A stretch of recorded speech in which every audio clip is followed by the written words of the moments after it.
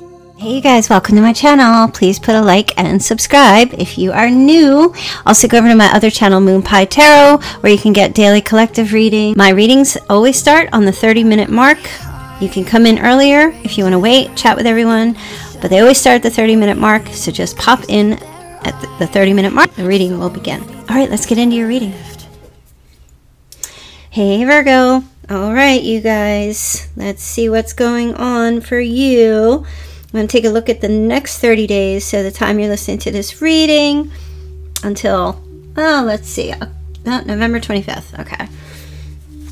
All right, let's get into this. What does Virgo need to know? Also, go over to my Moonpie Tarot channel if you want to get um, collective readings. What the hell? You got this the other day. Come on. The mirror. Hold on. I gotta switch my glasses out because I can't see a damn thing. I say it every time. Mirroring each other. Self image. Relationships reflect our wounds and introspection. Okay, you got the chaser. Okay. Okay. The sword and the rose, an addiction. Okay. So you and a person are mirroring each other. You're both chasing each other. Now that doesn't sound like your situation, does it? Fear of abandonment issue. Okay. um, okay. Hold on. Give me a second. I need to entreat it. I need to entreat it. Clarity, truth, revelation, sol solidarity, force, honor, protection, power, and addiction. Codependent, obsession, possession, controlling, has a black has a block, restraint. Okay, perfect. This is exactly what it is. Coming to terms with. You both chase each other, but not simultaneously. You both have a fear of abandonment, but you both have a fear of getting close. So, you both do this little dance where one of you gets real close because the other one is avoidant. So when one becomes avoidant, it's because they're feeling too close, so they pull away. And then the other one has a fear of abandonment, so the one who's fearful of abandonment chases. And then the one who's afraid of getting close runs even further. So the one who gets tired of chasing says, I'm not chasing anymore, and then retreats. And then the one who's avoidant is like, okay, well, now I've had enough time out here in the desert by myself where's Virgo? Or where's my person? And looking around, nobody's there. So the avoidant turns around and starts chasing. And the one they're chasing has now become avoidant. So there's this chaser runner back and forth, mirroring each other, but not simultaneously. So you both are like holding the mirror, but you're both looking into it at, diff- at sim- is there anti-simultaneously? You're both looking into, you're both holding the mirror, but looking in it at different times. It's a two-sided mirror. I don't even know. Like you guys, there's an addiction to each other. You can't let each other go because you've created this dynamic. There's a dynamic that has been created in this relationship now. This dance, this paradigm. You've got this dance now where the only way to break this cycle is you don't have to leave the dance floor. You just have to stop dancing. You just have to stop dancing. That's all. The dance consists of freaking out because of fear of abandonment or running off the dance floor because of avoidance. The only way to break the pattern, to break the cycle, is to just stay where you are and don't dance. you can't have a dance partner if they're on and off the floor all the time. Like, what are you doing? Oh, I'm just getting a drink. Okay, but we're in the middle of a dance. No, I'll be back in three years. Okay. I'm just going to stand here. If somebody else comes up and asks me to dance, I'm dancing with them. I'm not running off the dance floor. I'm here to dance, baby. that's that's what I feel like is happening here with this, and it's just wow, boing, big time realization, big time realization here. Like, holy shit, that's what's going on. I'm in this addictive cycle with this person. So they're running off the stage, and I'm chasing off the dance floor, and I'm chasing them, and chasing them, and chasing them, and we're running all over the building, and running around the block, and then running through the town and the streets, and this person's running, and I'm tired. and I'm tired, and I'm tired, and I'm tired. So now I'm leaving, and I'm going home. And then you go and then this person goes back to the dance floor and you're not there nowhere to be found. And then they start chasing looking after you. And you're nowhere to be found. And then they get tired and they stop chasing and chasing. And then you're like where the hell are they? And then you go back to the dance floor. They're not there. And a cycle. Every once in a while you guys actually come together and you dance for what five minutes out of ten years six years four years. I don't know what's going on. Enough is enough look at this you got the Seven of Wands. Don't get close to me. Don't stand, don't stand so, don't stand so close to me. This total avoidant right here. Total. And you're both in and out of this energy. It's not just one. You're both in and out because you share this energy, mirroring each other. And if you're like, that's not me at all, then it's not your reading. And it's okay. It doesn't have to be you. And that's why I say in the readings, don't force it to fit. If it's not you, then it's fine. It's not you. I, am fine with that. It's totally okay with me. So this is avoidant. Somebody's avoidant here. This is the avoidance stance. Like push back, push back, push back. Don't stand so close to me. Don't get so close. You're stepping on my toes. I can't breathe.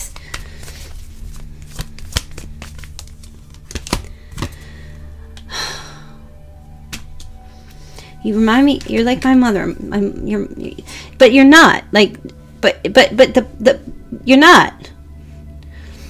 But I'm I'm afraid that you're gonna be like my mother because my mother was smothering. I had a smothering mother. My my smothering mothering. My smothering mother.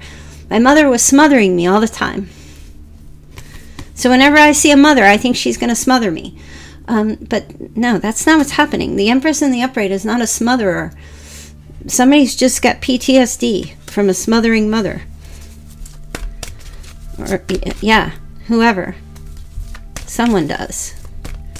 So that the, as soon as they see that, or an ex, and as soon as they see that, they're like, uh, uh, uh, they go into like, you know, fight or flight or fawn mode.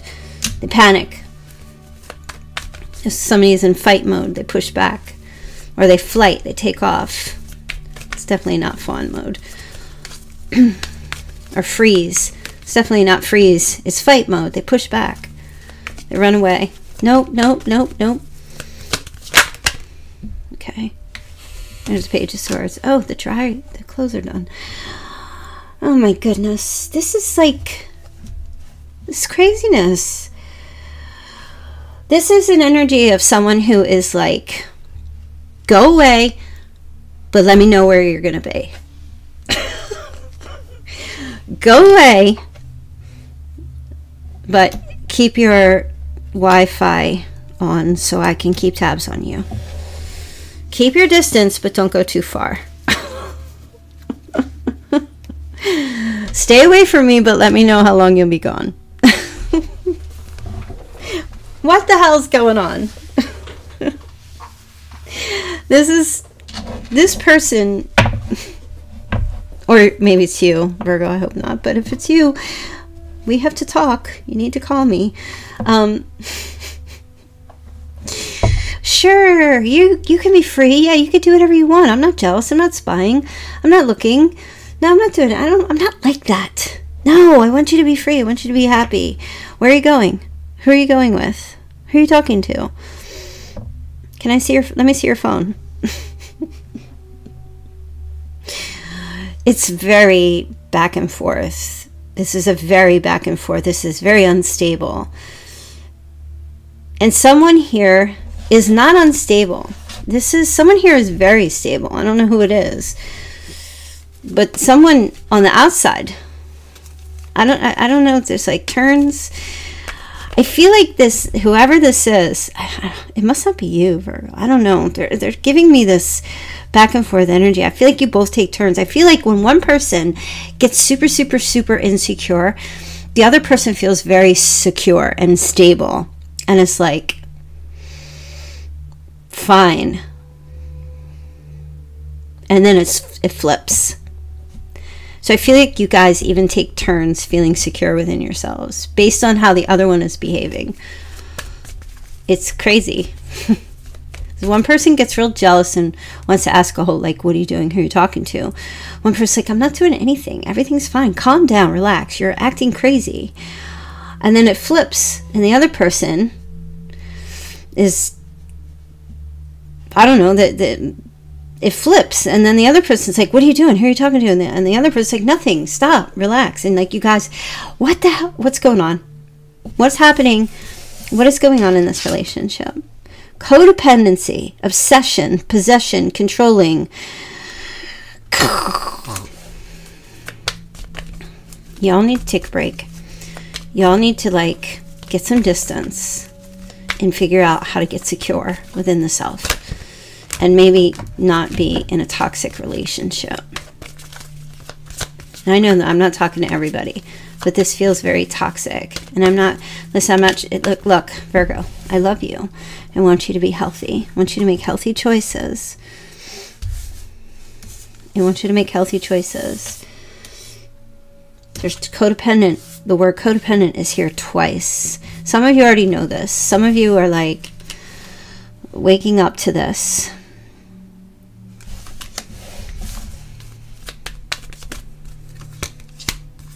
Yeah, reflecting on this. Like, oh shit, I'm playing a role in this. I may not be as bad as the other person, but I'm I'm probably pay, playing a role in this in some way. I'm probably not making this any easier by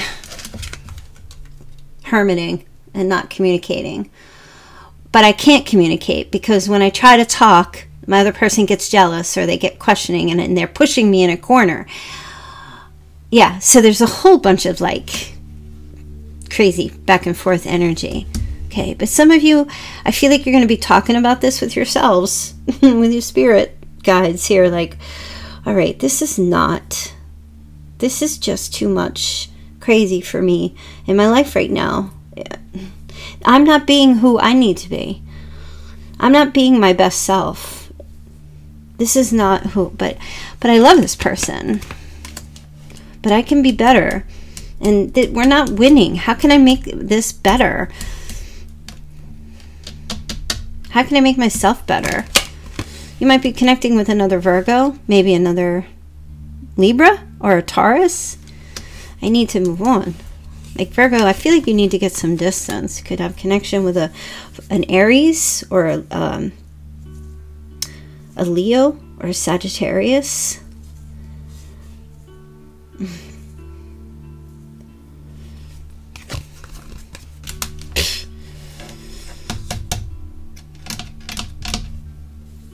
Who's the Emperor? Oh boy. I'm seeing a father and a brother.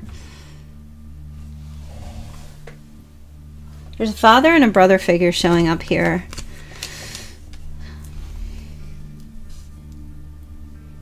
Somebody's calling their father or their brother or a father figure or a brother during this time or they're or they're calling you virgo. Or they're trying to tell you to like wake up about something. There's like maybe some advice. Heed the warning they're saying. Heed the message they're trying to or they have been trying to tell you about this connection or this relationship or this person, whether it's a friend or, or a love relationship, whatever it is, they've been trying to tell you. They're sending you the call, they're sending you the message, or they want you to come visit. Could be one or both, or just some friends, or some there's some males or brothers or someone trying to tell you. Could be parents some family members about this connection. It's not healthy. Yeah, they're trying to tell you. need to get out of this, put an end to this thing, like fast, pronto. Yes, for the kids or for the kid or come stay with us. We need some help with our child. Just cut them pers- cut them off. Yeah, there's just I mean, I know people give advice, you know, everybody everybody tells everyone what to do and it's real easy because they're not in the other person's shoes.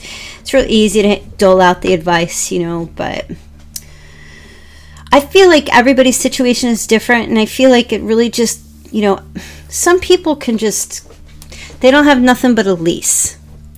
But some people have like 30, 40 years worth of um, belongings in a house in a community and they put roots down. So it really everybody's situation is different. Some people just can't cut loose very easily. Some people are willing to take a credit hit and some people are willing to just like duck out on their lease, you know, and some people just they can't leave because they have like family members or kids in school or they have you know they're taking care of elderly parents you know it, it's different for everybody and so people just tend to dole out the advice based on what they would do but you know not everybody just kind of sits there and says, Well, tell me what your specific situation is so that I can help you, you know? So that's why you got to be careful. Like, be objective when you're asking for advice and consider the source. So, when people are telling you things, you kind of have to be like, okay, well, where's this coming from? Because have I given them all the information when I'm seeking advice? Because you have to be really mindful. you know, is your situation is there addiction involved? Is your situation something that's just easy to cut out of? You know, do you require more help than just someone saying, "Hey, just come stay with us for a couple days"? That's not help. That's a reprieve. That just gives you you a little time and just kind of maybe gives you a little. That's a little R and R. That gives you that's a little breathe, little breathing time. But that that buys you time. You know, if you need that. But if you're in a situation that's like you need a chess move. Staying with someone for a few days might get you out of harm's way, but it's not a permanent move, you know? So I don't know exactly what your situation is, but I do see there are some people here who um, are, are definitely on your side as far as wanting you to make better choices or wanting you to be happy with regards to, you know, whatever your whatever this relationship is, this mirroring, this addiction, this codependency thing going on, that doesn't seem to be, you know, it just it just seems like some kind of virus that um, is just getting worse. They're saying seems like some kind of virus that's getting worse. You know, you know, like when a virus invades, gets into your nose, and then it attacks your sinuses and then it gets your upper respiratory tract and then it goes down to your lower depending on how you take care of yourself you know and then it gets your headache and then you you know it just kind of just makes its way all around the town you know it's it, it it's kind of like what i feel like is here you know this situation the longer you're with an infected soul the more infected you're going to get and you you got to get out get out of it and go get a brainwashing and get a cleanse so to speak you know? Um, and i'm not saying that this person is infected i just feel like with addiction here and there's codependency and there's some toxicity going on here there's like this sword in the i almost said sword in the stone the sword and the rose there's this little bit of like that rose represents compassion that sword represents to me like clarity you know? The rose represents the heart, the bleeding heart. Like suffering. You've been suffering and you're back and forth with this person and you guys are just. It feels like you got like this whole dance floor, but you're the only one on it. You're the only one doing the mambo. Number five. Bump, bump, bump. Little bit of Sandra, here I go. I don't even remember the words. I can't even sing that song. I don't even know. A little bit of Jessica all night long. You're the only one on the dance floor. And this person is on it, and then they're off again. And then you leave, and then they're on it, and then you come back, and they're not there. like kind of gives the appearance that they're there. You know, like, yeah, no, I'm here. I was there. I was there. Where were you? What do you mean? okay. I don't know what's going on here. I don't even know. Yeah, look. Make them plans. It looks like you got it looks like you got some ideas here. Uh, but I feel like you got to make some plans first about, you know, you're at a crossroad. Are you going to stay? Should I stay or should I go? If I go, there will be trouble. But if I stay, it will be double. So, what do you foresee in your future? Like, where are you going? This is all about ideas right here. You know, this is standing at the crossroad here. Do I go left? Do I go right? But it looks like the new year is coming. What do you want to do? Start trying to materialize your thoughts and your dreams, your ideas. You know, this is materializing your dreams, your ideas. Start thinking about that in the new year. You don't have to do it tomorrow. You don't have to pack your bags and go tomorrow. You know, but I mean, it's like time to really start thinking. I feel like, okay, you know, how's this working out for you? Forget the emotions, like just for a minute. That's what they're saying. Just forget the emotional aspect of things for a minute, right? Because the way I feel like this situation, right?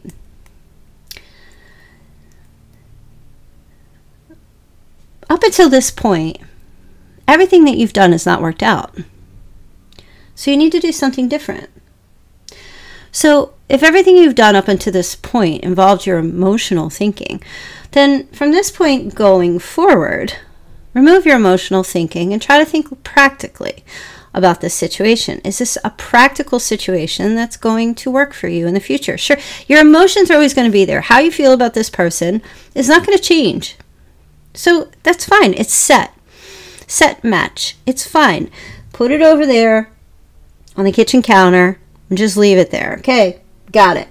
This is how I feel about this person. You love them, you care about them, got it. But let's look objectively. Is this a compatible relationship? Is this working? Are you on the dance floor by yourself?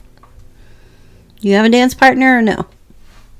Does that work for you? If it works for you and you like being out there solo with an occasional dance partner, then hey, this isn't the reading for you and you should just go about your business. But if it doesn't work for you, because relationship is not just about love, it's about compatibility and working, being able to work together. You know, it's unfortunate when there's love there. It's kind of like when you have um, a child or an adult child that you love very much that has an addiction.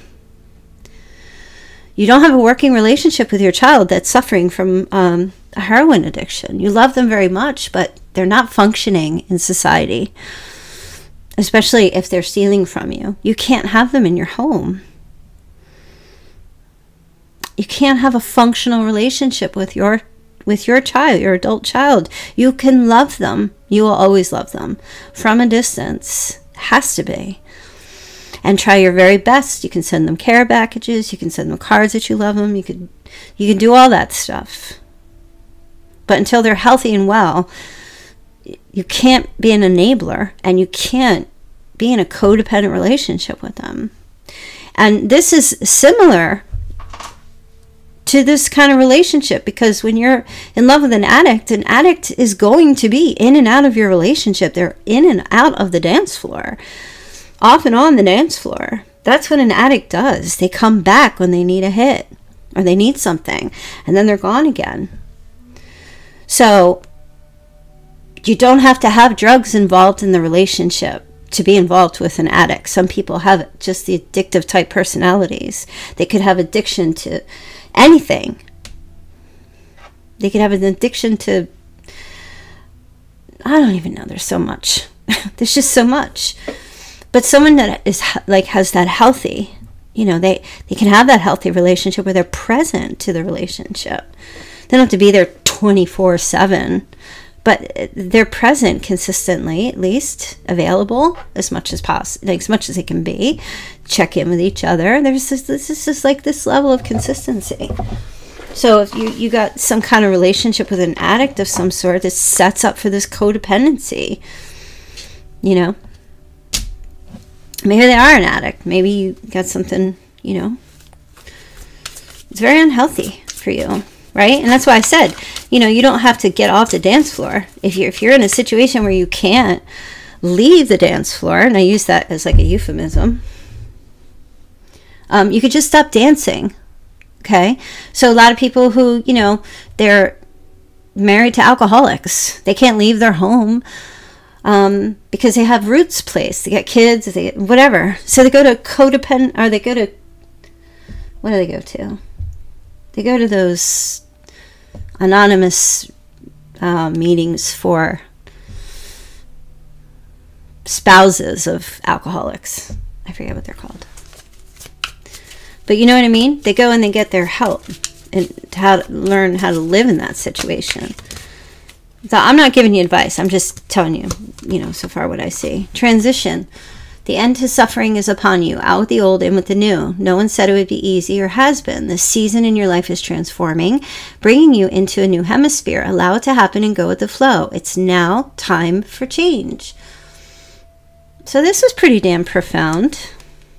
Oh, you need a girls' night out, or guys' night out, or friends' night out, sisters or brothers.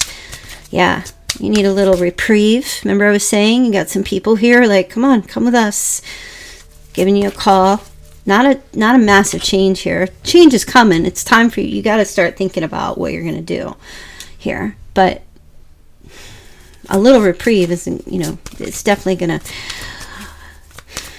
I don't know. You need a little sparkle of some sort in your life, a little color in that rainbow, little paint refresher. What else do you have here? Okay, love offer. Beautiful. Who couldn't use a love offer? Family celebration, wedding, engagement party. Very nice. This feels more like, um, I don't know what kind of reading. This feels more like a life reading more than a romantic reading getting together with family, financial decision playing out for you coming up. Yes, remember it's going into November, so we definitely have um, holiday season coming up as well. So you might have some parties or celebrations or events, family, friends, holiday celebrations. All right, Capricorn, Cancer. Oh, we have the sun. Nice. Okay.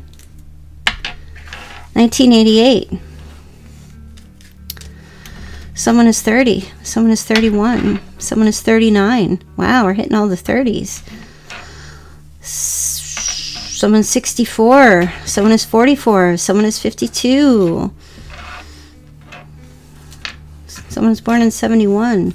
Someone's born in 78. Okay, someone's from Texas. Okay. Did I say that the other day? All right. Um, someone's asking for a plea deal. okay. Um, Playtex. Someone's no longer using Playtex. I can tell you that. Those days are over. Someone's hitting a plateau. Okay. I just heard you're hitting a plateau. If you're dieting, um, and you're hitting a diet plateau, um, I just heard you can. All right, so hmm, they said um, eat more carbs. I just heard. Load up on the carbs for like a day or two. If you're hitting a diet plateau, like you're not losing any more weight, jack up your carb intake. I heard. Okay. Playtex. What the hell is Playtex? Okay. Oh, I know what that is. Um, all right, somebody's just washing their plate. Uh, somebody's having a latte. Somebody's also having a malt beer, malted beer. Um, okay, someone's getting here late. Late. That's great. Someone's name is Pete. Peter. Peter Peterson, Norm Peterson. Okay, what's up, Pete? All right. Someone's getting a lap dance. Hey, TMI. Okay, I don't need to hear that. All right. Someone's just flown into or flown out of LAX. Okay. Um, your ex is showing up. Someone's going out to eat or just came back from eating out. Okay, we have Patrick or Pat or Patricia. Okay.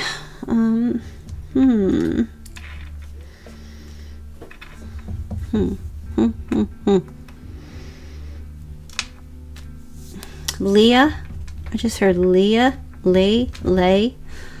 Lex. Okay. Someone's. What are you doing with that axe? Hold up. Hold up.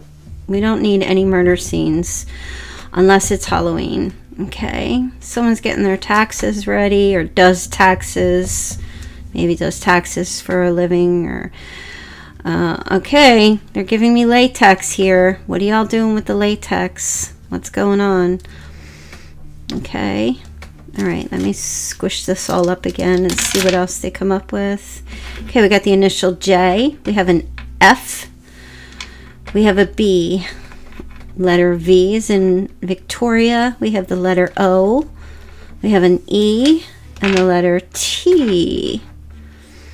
Okay, more signs.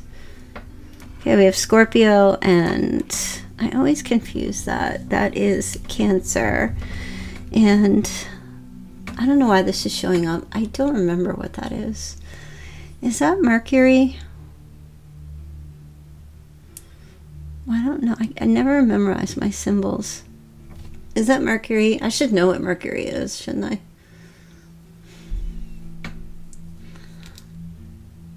Yeah, I think it is. I always expect to see the little arrow coming out of the top, but then that would be the prince sign, wouldn't it? that would he who shall not be called prince, or something like that. The dead guy, like Prince Purple Rain. All right, I'm gonna leave that there. Let me get a charm for you guys, and then we're gonna call it a night. Tomorrow I'll be back with your weekend reading, and you guys, I know you're gonna kill me, but I have to say what I have to say.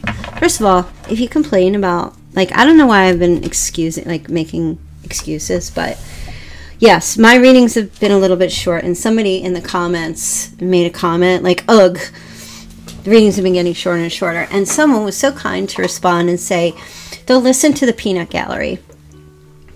The readings, what's more important is the message. And if the message is really good, it doesn't matter how long the, the readings are. And I really appreciate, I don't know who it was that said that. I meant to reply to her comment, but I really appreciate that comment because definitely a sign of maturity and compassion. And as some of you know, I just have been having some medical issues ever since I got COVID. And so, yeah, I know I'm only here once a night, um, five days a week, but I appreciate the patience. I do. I don't normally let the comments affect me. I don't read them all that much, but when I do, sometimes it's just like I feel like people are becoming more and more impatient. I don't know. It's not really, I guess, I don't know if it's a younger crowd. Generally, like I've been on YouTube long enough to know when people are just trolling. And I can tell when people are trolling because you just know there's an essence about a troll. And when you've been on here long enough, you know when people are trolling. Um, but I don't know. I think maybe it's just because I haven't been feeling all that well. So I appreciate all of you guys have been putting up with my antics here on my channel and a little bit of my back and forth.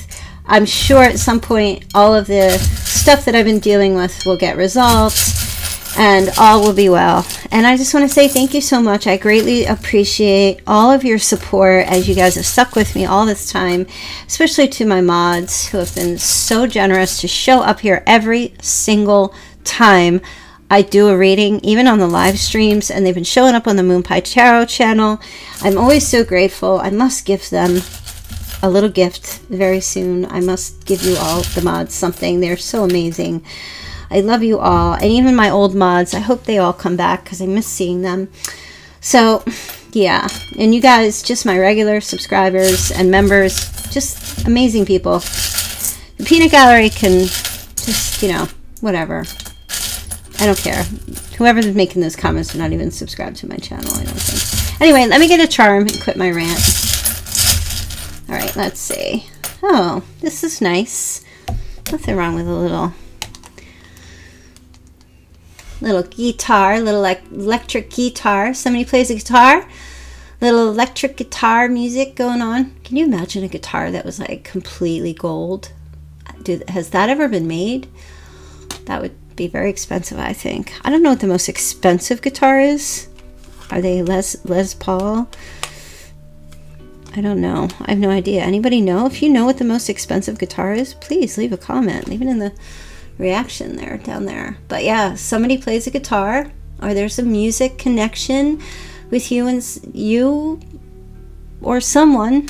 Okay, very strong music connection. Um, whether that's lyrics or someone makes music for other people or plays in a cover band or yes very strong musical instrument maybe owns a music shop i just want to get one more Oh. Actually, they gave me two. So you got a blue star and, hold on, blue star and a hanger.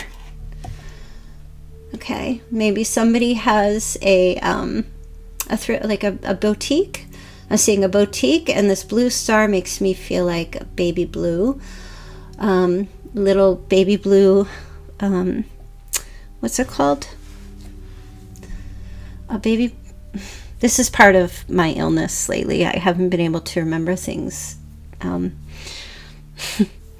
can't remember short term memory. What are those things that hang over a baby's crib that and they have music? I can't remember the word. That's so bad. Um, and it has musical lights and little yeah. I want to say cradle, but that's not the word. I think you guys know what I'm talking about. And I appreciate all of you who leave the comments and fill it in for me. Uh, makes me very happy. um, but yeah, that just, it's the image that just came to my mind. I can't remember what it's called. But um, yeah, maybe somebody's having a little boy. There might be a, a pregnancy, a little boy, baby blue star. And then they just gave me that old song, Baby Beluga, little baby. Um, somebody might be shopping for baby blue clothes. Okay. And I know in this day and age it's not gender or gender neutral, I guess, um, but somebody really likes the pastel blue or pastel blue colors, or someone's doing a child's room in glow, or they're seeing are using glow stars for something. Okay. So I'm going to leave that there, you guys. Um, yes, and I will again, see you all back here tomorrow for your weekend reading. And uh, yeah, uh, love you all very much. Take care.